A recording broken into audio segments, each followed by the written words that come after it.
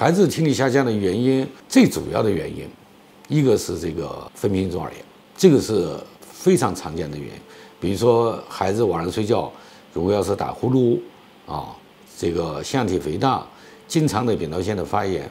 这时候呢都是这个分泌性中耳炎的呃危险因素，这是它最主要的原因。第二个呢，孩子这个听力下降的原因，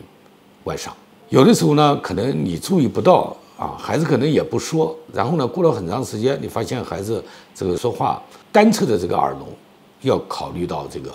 呃外伤的这个原因，还有呢就是我们所说的这个脱聋了啊，这是他最主要的几个原因。